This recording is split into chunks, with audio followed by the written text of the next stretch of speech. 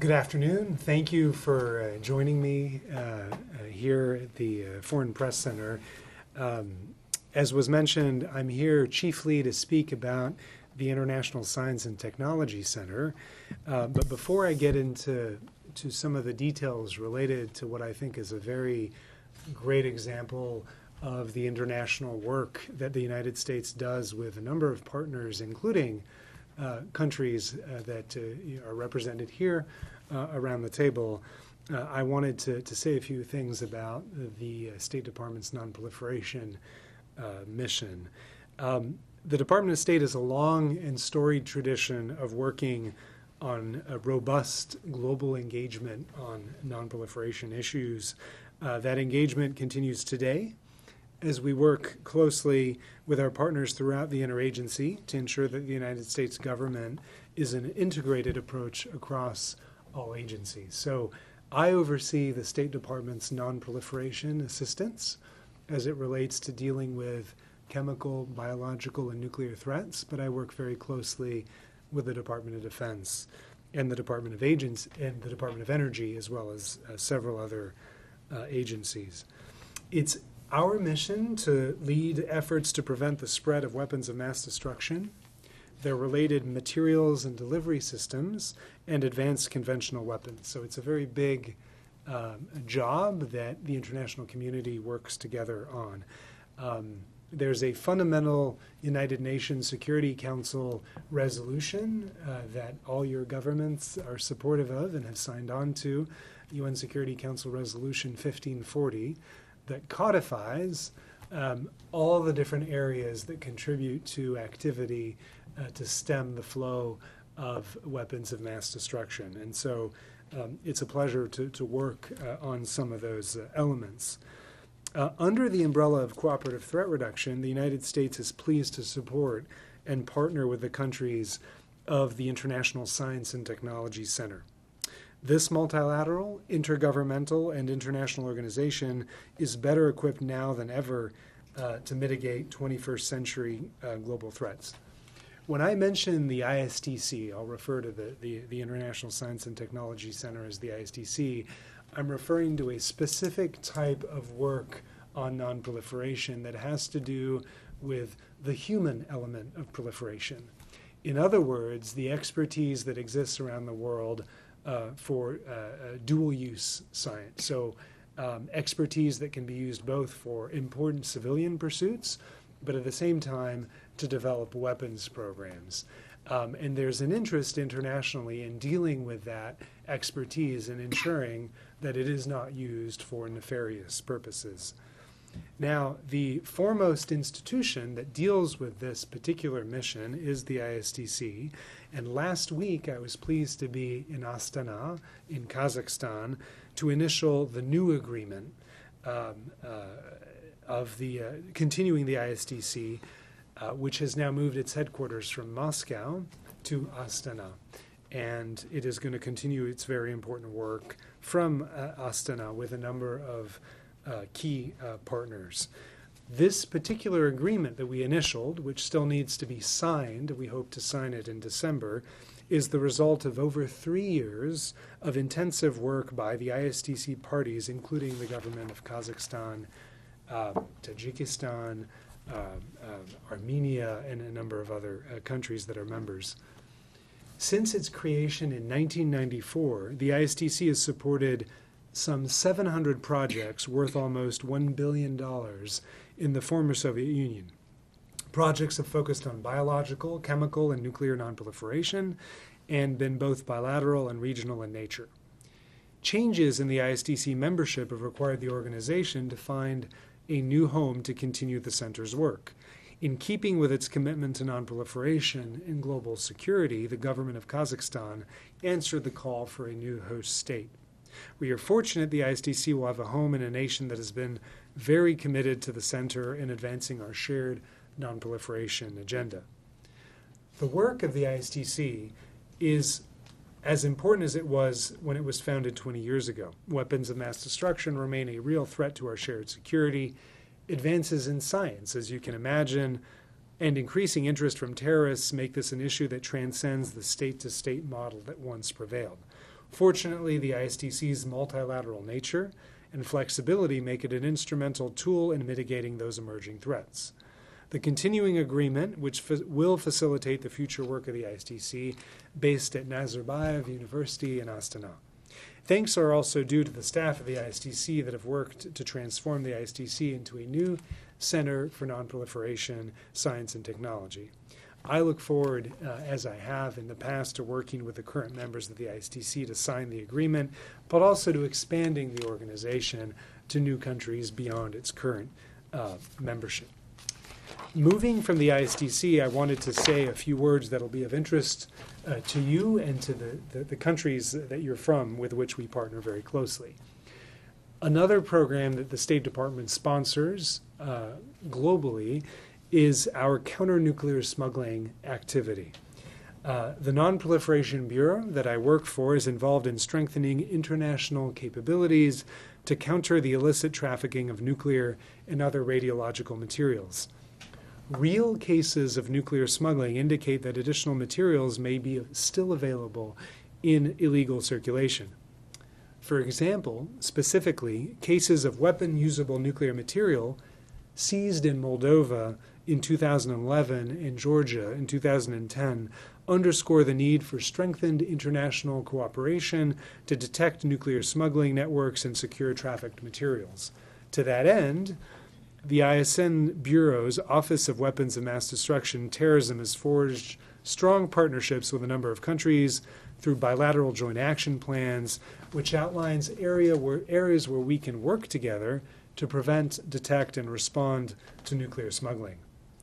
Through this work, the United States is carrying out a number of projects to improve counter nuclear smuggling capabilities, especially by promoting strengthened coordination and training among law enforcement and technical experts. Law enforcement in many of the countries represented at the table and in some of the countries we work with have a very important role in going after these networks of smugglers. For example, we are working closely with the government of Kazakhstan, to support its efforts to develop a training curriculum on countering nuclear trafficking for an, or, a, uh, an institute it has created called the Nuclear Security Training Center in Alatau. This curriculum will be focused on raising awareness among frontline law enforcement officers about the threat of nuclear trafficking and methods to effectively detect, interdict, and secure material outside of regulatory control. While the specific cooperation is more recent, we signed an agreement to work on these issues with Kazakhstan in 2006. I was also in Ukraine last week, where I, dis- I led discussions with the Ukrainian government to review our cooperation on this same issue of counter nuclear smuggling based on an agreement that we have with the Ukrainian government that dates back to 2006. Over the years, Ukraine has strengthened its ability to also detect and respond to nuclear smuggling at dozens of border crossings and other ports of entry, partly with U.S. support, partly using its own resources. I know we have some colleagues uh, or a colleague here from Armenia. I wanted to mention, for example, that the United States and Armenia signed a counter nuclear smuggling joint action plan in July of 2008, which identified a range of steps Armenia could take to improve its ability to prevent, detect, and respond, respond to nuclear and radiological smuggling. Armenia has made significant progress in this area, including in border security, radiological security, regulatory and legal development, and nuclear forensics. We continue to work with Armenia in all these areas. I understand we also have a, a colleague from uh, Georgia the United States and Armenia signed a counter nuclear smuggling joint action plan in February of 2007, which also identified a number of areas where Georgia could work with the United States on developing its ability to deal with this problem. Um, furthermore, we are committed to working with the government of Georgia, which has been an excellent partner uh, in, uh, in this area. Finally, let me close with uh, the area of border security. There are a number of U.S. agencies that work on augmenting border security capabilities in several countries. As I mentioned at the outset, I focus fairly narrowly on nonproliferation, not every aspect of border security, but the U.S. State Department has a program called the Export Control and Related Border Security Program, which provides assistance to over 60 countries in developing their export control and border security capabilities. The EXBS program, as it is known, draws on the expertise of U.S. government agencies, foreign government experts, the private sector, and the academic community to organize over 200 specialized capacity building activities to improve export controls and border security in several areas. First, in the development of comprehensive legal regulatory frameworks to regulate trade in proliferation sensitive dual use items and enforce these laws. In very simple terms, we worry about and work with partner countries to regulate the proliferation of high end material that could be used both for civilian commercial purposes um, and to increase uh, commerce and, and the benefits from commerce, but could also be used as components for dangerous weapons. And so we work with many countries to make sure that they have a legal system in place uh, and the, the uh, processes and protocols to identify those materials and to prevent them from being um, uh, from uh, transiting uh, their country. We've worked uh, closely, for example, in Tajikistan to develop a new law to, to control these items. Uh, we worked in 2014 to support the passage of a similar law in Serbia. Uh, is currently working, for example, uh, with Afghanistan, Kenya, Morocco, Mongolia, and the Philippines uh, on the development of their draft strategic trade control legislation. For example, in the ASEAN region, two countries have developed strategic trade control uh, laws uh, Singapore and Malaysia, and we are very hopeful that other countries, including the Philippines, will be able to develop uh, this uh, legislation uh, and uh, conclude and implement such legislation. Second, establishment of effective licensing procedures and practices that apply to export, transit, transshipment, brokering, and financial transactions involving controlled goods are also a goal of ours. In June 2014, for example, uh, this program supported a study visit for the Thai uh, licensing officials to South Korea. And I know we have some uh, friends from South Korea here today to learn more about the Republic of Korea's licensing system called Yes Trade. Such exchanges promote regional harmonization of strategic trade control best practices and facilitate development of peer to peer networks among nonproliferation practitioners. Third, the EXBS program supports activities that bolster partner governments' outreach to their strategic industry sectors, including exporters, freight forwarders, and shippers. For example, in 2014, the State Department facilitated a two day outreach workshop with Armenian industry and government to discuss proliferation risks facing Armenia and illustrate the need for and value of internal compliance best practices for Armenian exporters of dual use goods. The event resulted in the Armenian uh, Ministry of, Econo- of Economy's policy guidance on internal compliance programs to be published this year. Fourth, strengthening enforcement at and between points of entry on the border.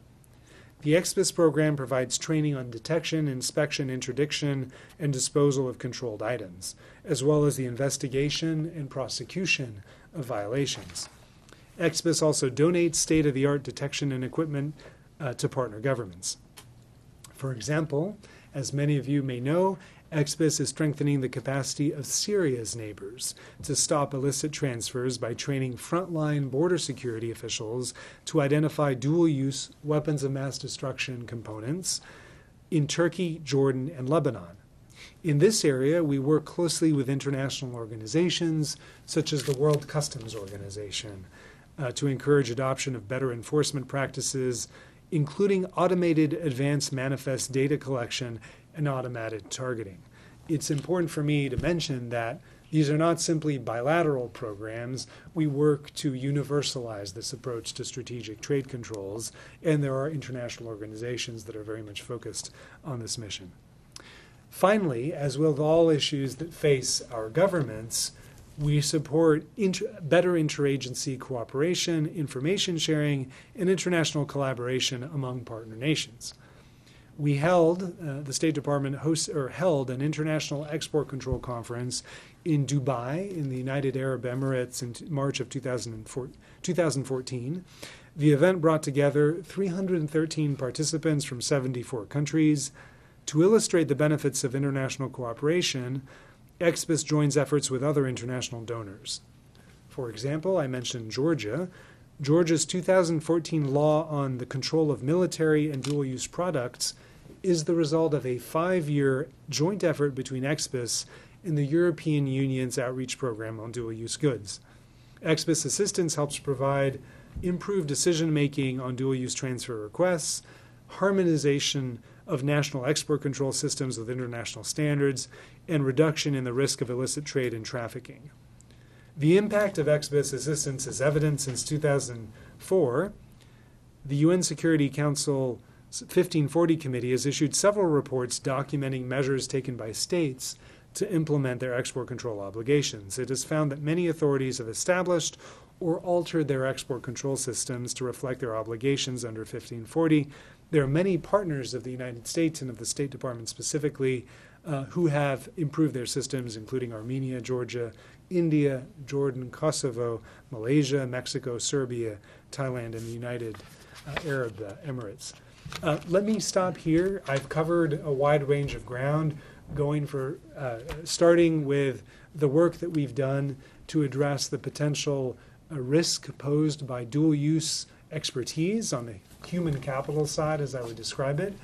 Um, I've also talked about a specific program aimed at uh, reducing the threat posed by uh, nuclear materials smuggling. And third, I talked a little bit about border security in a specialized area. Um, the U.S. government collectively works on a number of additional related areas to do with nuclear security, biological security, uh, and chemical security. And I'm happy to get into those a little bit as well. But let me stop here uh, and turn it to back As to we move to the Q&A portion of the event, I'd ask folks to please uh, state your name and publication, and also we're going to try and give, go around the table and give uh, every country and outlet a chance to get a question before we take multiple questions from the same journalist. So who has our, we'll go right here. My name is Ozeki. I work for Japan's Yomiuri. Um, as far as uh, ISTC is concerned, um, I'm ashamed how little I know about this issue, but uh, Few people do. Right. wasn't it in the first place? Wasn't it because of the Russian withdrawal that you had to uh, come up with a new agreement? What, um, why? wh- What's the Russians' claim? I mean, wh- why do they claim that they are dropping out of this uh, agreement? And what's the impact? And what are the concerns? Uh, It's a it's an excellent uh, question and a very common question. I'd start by saying that um, the ISTC has had a very strong partnership with Rus- Russian scientists and more broadly uh, scientists throughout the former Soviet Union since the mid 90s when there was a strong sense of collaboration uh, on addressing the threat posed by the proliferation of this dual use expertise. Um, the United States, and I dare say the other members of the governing board of the ISTC, had hoped and continue to hope that Russia would remain a part of the ISTC and contribute to working on problems of, a, of an international nature. Um, the ISTC, as I mentioned, is an international organization uh, with a number of countries that fund projects aimed at developing strong science and uh, encouraging good partnerships with a number of institutes throughout uh, the, the, the, the region. Um, I, uh, I and, and I think my colleagues in the ICC were disappointed uh, to get the news that the Russian government had decided uh, to leave the ISTC.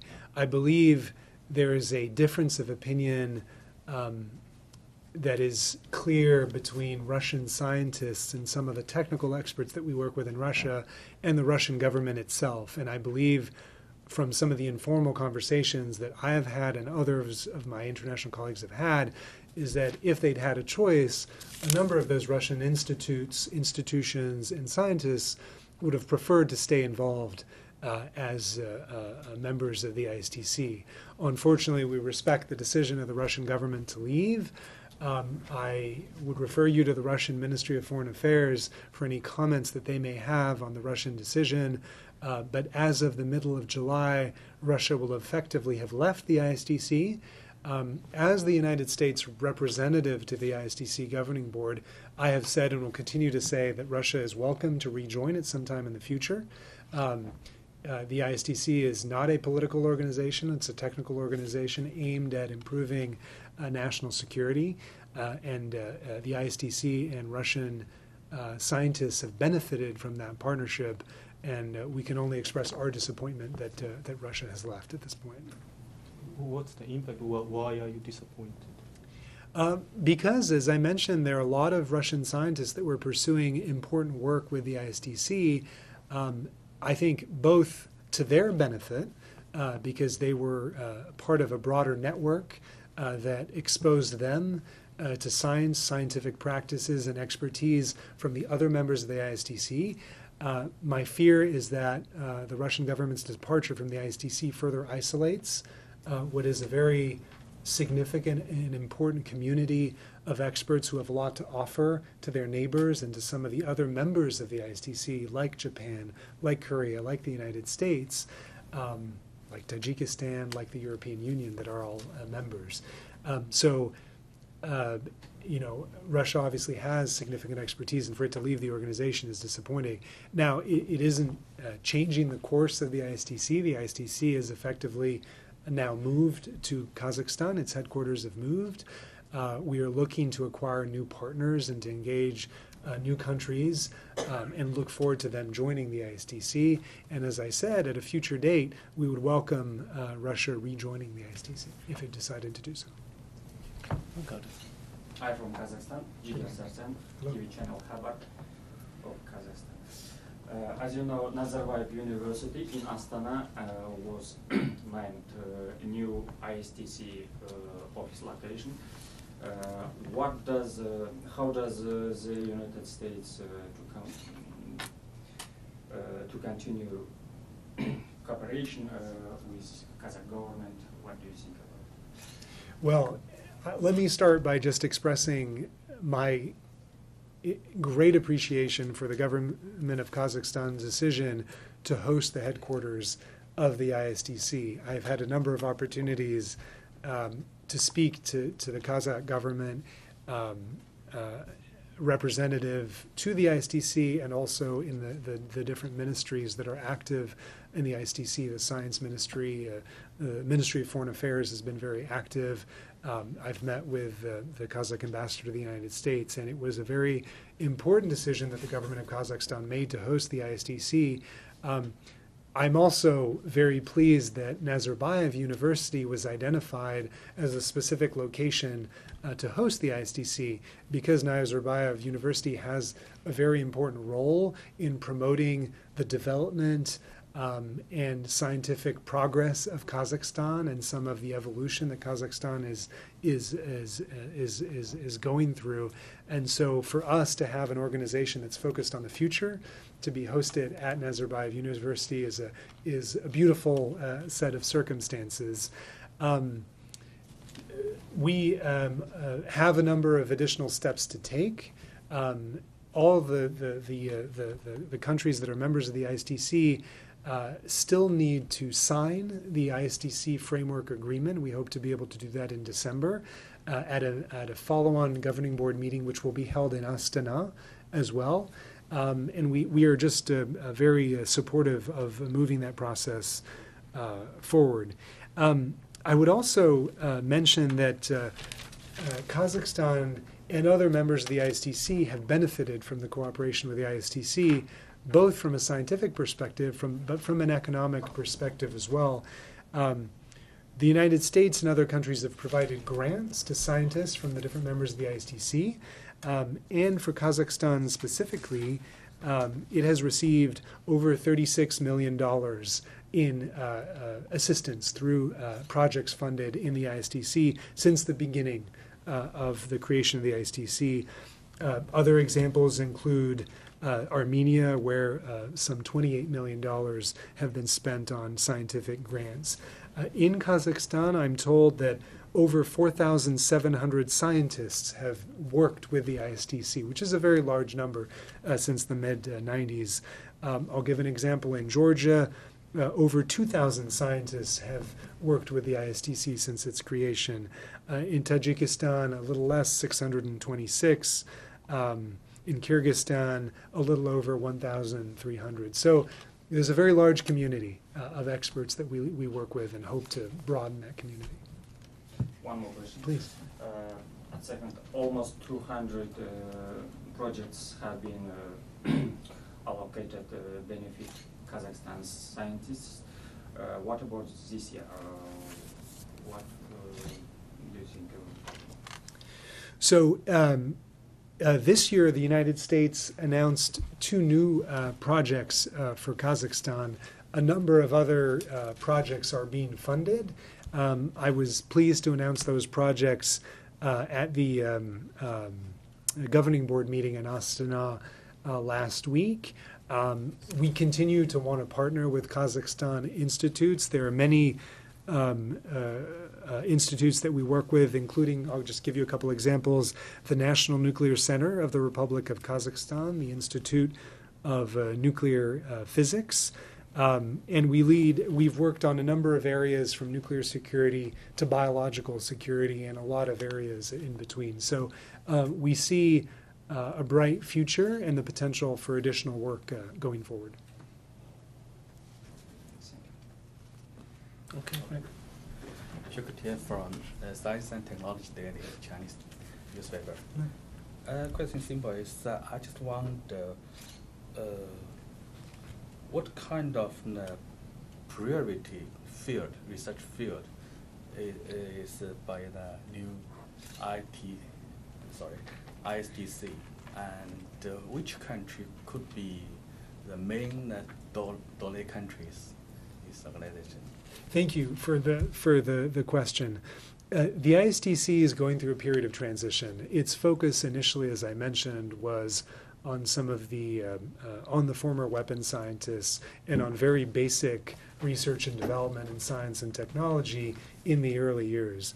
What we have noticed is that the scientists that we work with uh, from all the countries in in Central Asia um, and beyond have adapted their focus to current national security challenges, but broaden the types of projects that they work on to areas of health, environmental uh, safety, um, global warming, uh, uh, and, and a number of areas. I'll give you one example.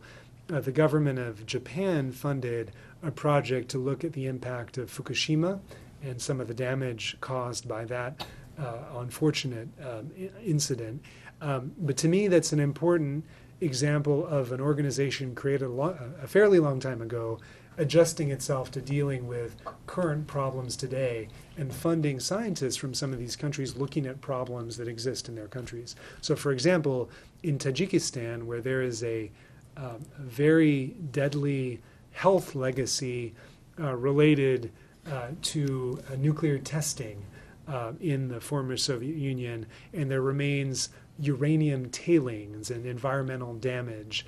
Um, there have been projects to assess some of uh, the, the, the health effects and the uh, cleanup that one can do or, or that, that, that is being done uh, of the, the uranium tailings. So there's a broad range of science and, and expertise that is being brought to bear and a new uh, set of ideas that are being fostered. The ISTC, I should also mention, has a mechanism to assess the scientific project. So we don't just fund anything. Any not not every project has merit. It is also based on the resources we have available. But we try to focus the the uh, scientific projects and the grants on current and important. Uh, uh, uh, uh, scientific projects. In terms of membership, um, we are still having a number of internal discussions about uh, which countries to engage, which countries could potentially join. But the ISTC is open to all countries that have an interest in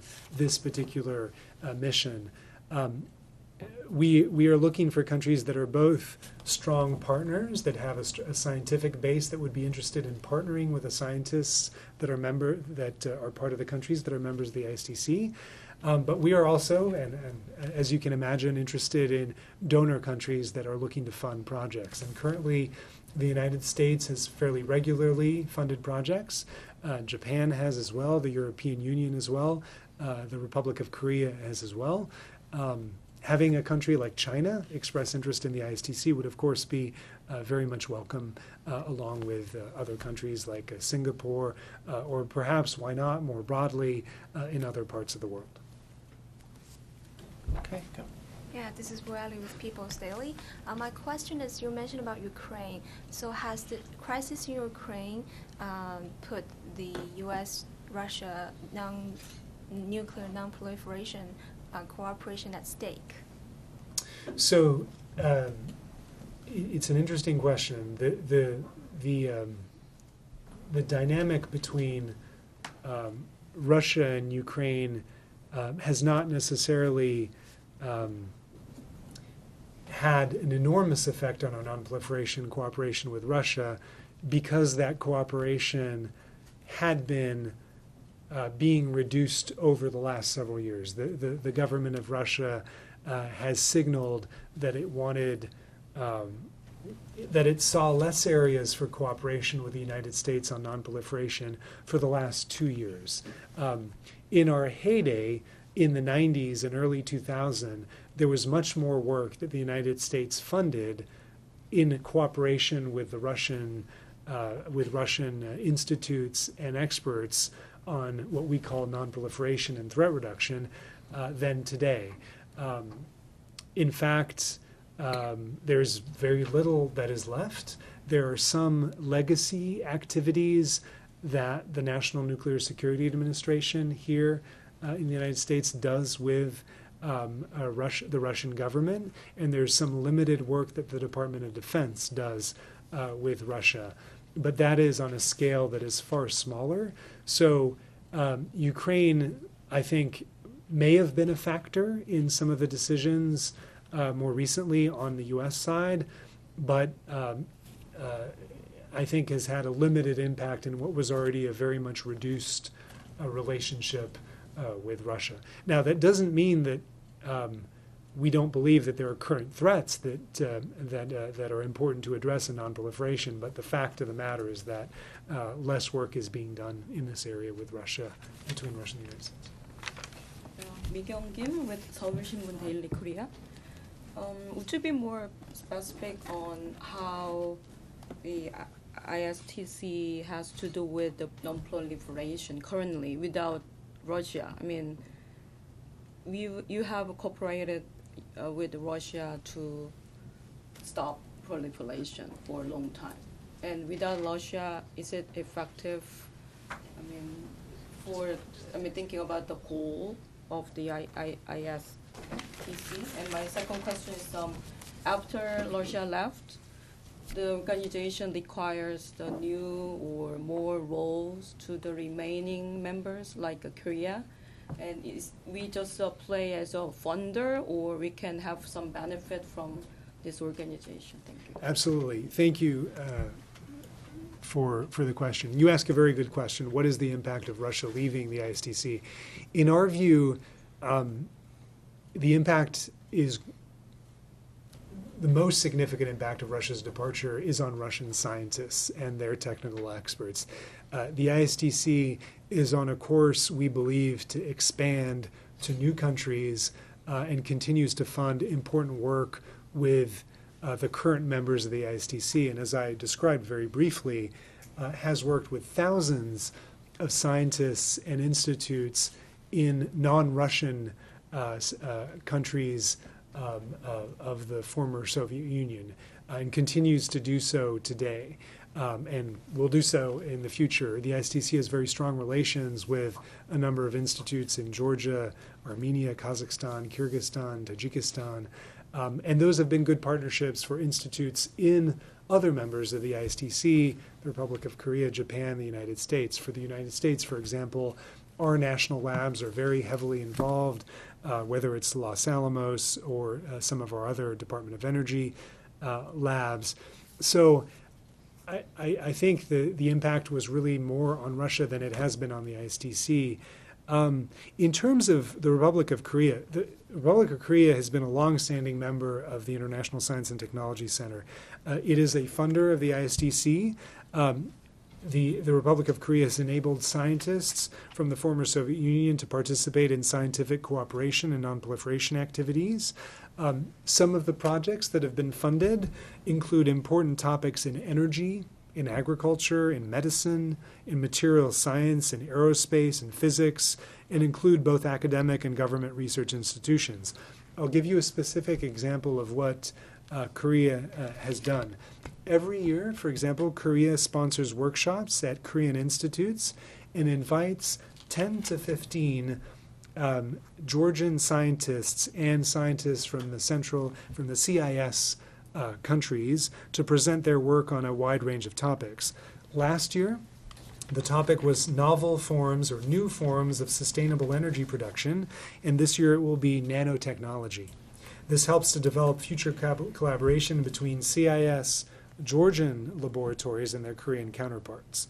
Um, and I'll, if you'd like some numbers in terms of funding, up till 2013 and through thu- 2013, so including 2013, the ISTC reports that the Republic of Korea government has provided uh, $1,980,000 for projects, and private Korean partners have provided $339,000, $339,189.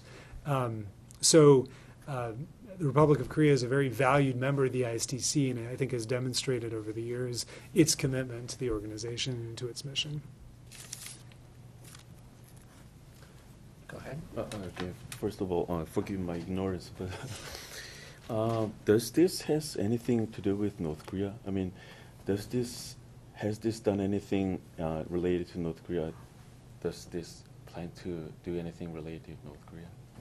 Uh, so, so, so currently, uh, no. Uh, the, the the ISTC um, funds projects and is responsive to um, the interests of its individual members and works in the countries that are members of the ISTC. So uh, there there is no uh, focus on, on, on North Korea. But, but in terms of efforts to stop the spread of weapons of mass destruction, I think North Korea has long been accused of yes, spreading some missile and nuclear technology to countries like Syria, and so So that is a very real threat and a very real problem, but the ISTC as an organization has not focused on that particular threat. Go ahead. I'm sorry for being late. Please. Do you? So your name and publication? Yes, I'm uh, Iyamil Mushulian from the Voice of America Georgian Service. Uh, Do you coordinate any efforts with law enforcement? Uh, yes, um, as I uh, had mentioned a little earlier, our um, the State Department has a number of nonproliferation programs, including a program that focuses on counter-nuclear smuggling, um, and that particular threat requires an interagency response. Um, and we work very closely with the Georgian government, along with other countries that are partners in dealing with this particular threat, and specifically with law enforcement in um, uh, in uh, in uh, Georgia. Um, law enforcement has a very important role to play in breaking up and identifying smuggling networks. And there was, in particular, um, a case uh, that uh, uh, the Georgian government was helpful in addressing in 2010, um, where um, uh, we were grateful and appreciative of the fact that uh, there was a, a, a, an apprehension of smugglers then. Um, now, we continue to work with the Georgian government. Uh, we have an agreement with the Georgian government where the United States State Department, Department of Energy, FBI, and other agencies work closely to strengthen uh, the Georgian government's ability to detect, prevent, and respond to the threat of proliferation. And we really we value that that partnership because the region itself is an important region for this issue. And where does the, in the hierarchy of things or in the jurisdiction, uh, where, where do you stand um, as it relates, you know, in the whole picture? Um, yeah, you train people, you provide Sure. assistance, but what is it that you do in particular if a uh, network of smugglers is discovered?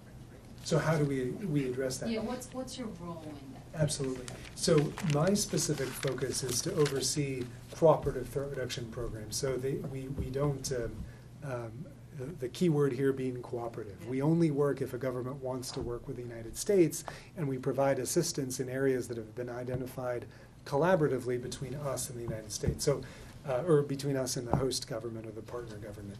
Um, typically, the areas where we supply training, equipment, and expertise, exchange best practices, help address particular threats, um, are in uh, border security, for example, uh, where we will help countries develop detection uh, capability, either fixed capability, portal monitors at borders, at land crossings, uh, where um, we will work with our interagency to provide uh, portal monitors that uh, will identify potential material coming through trucks or vehicles. Um, at the State Department, we also provide handheld equipment to uh, enable border guards to do search and, and seizure of materials. Uh, we'll also work at ports, uh, all ports of entry, including uh, seaports, land ports, airports. Um, the State Department also plays an important coordination role. So we will bring in, if we don't have expertise within the department, we'll bring in Homeland Security and others to help with that mission. Okay. We have time for one or two more questions. Are there any final? We'll go here. Tetsuko Bayashi, Asahi Shimbun from Japan. Here, uh, let me ask about. Uh, could you speak uh, Japan's reprocessing proce- policy? So my my apologies. I, I'd love to, to, to, to address, but unfortunately that's not within uh, my purview. But Yeah. I'd be happy to take is a there, question is back there any to our. impact on the ISTC or Uh, there, there's no relation that, that, that, I, that, Okay. uh, that I can imagine, but uh, I appreciate the question and we can find a way to follow up. yeah, thank you. Okay. Final question, I guess, then, to, Yeah, Go ahead. So you mentioned about the reduced cooperation between U.S. and Russia on the new uh, non-proliferation front, and since Obama administration um, and Russia signed the new treaty on, on nuclear arm control, the New START, do you see it as a setback for the Obama administration on, the, on its second term in, in its cooperation with Russia and the way forward? Do you see, see cooperation forward or uh, further isolation of Russia? Uh, so, so I, I, I certainly don't see it as a setback for the the Obama administration. If I understand your uh, your question uh, related to the New START agreement and the reduction in cooperation with Russia, the New START agreement we see as positive, as as a very important development uh, in the field of arms control and and a sign of leadership uh, between both countries in terms of redu- reducing the world's most dangerous weapons. So I see that as a positive achievement. Um, that, in my mind, is different from the nonproliferation challenge, uh, where we uh, work to uh, together address what is a UN mandate, a UN uh, un- described under UN Security Council 1540, which China, Korea, the United States, uh, and Russia uh, all support. Um, we, you know, we, we can't but deplore the fact that there's reduced cooperation because we continue to see threats that have evolved.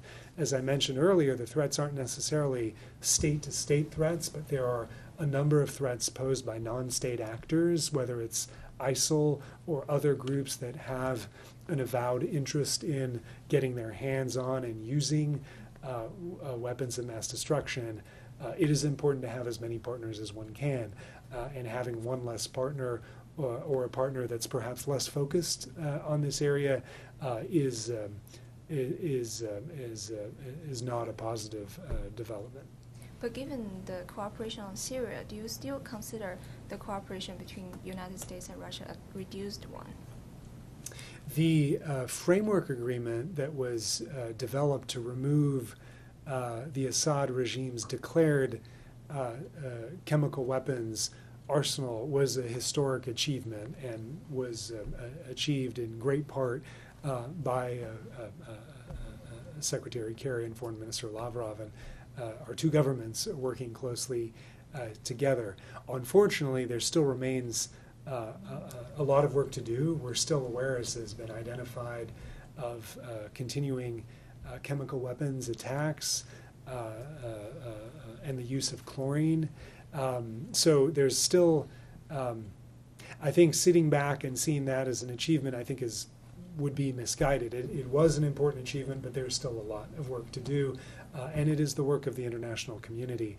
The effort to remove Syrian chemical weapons was not simply a U.S. Russia effort. It was uh, the work of a number of uh, countries that participated either by funding uh, the work of the OPCW, providing ships like Denmark and Norway to remove the material from Syria, um, work by the United Kingdom uh, to eliminate uh, uh, uh, Syrian chemical weapons, uh, limit, uh, to, to, to, to destroy those weapons. Finland, many other countries participated.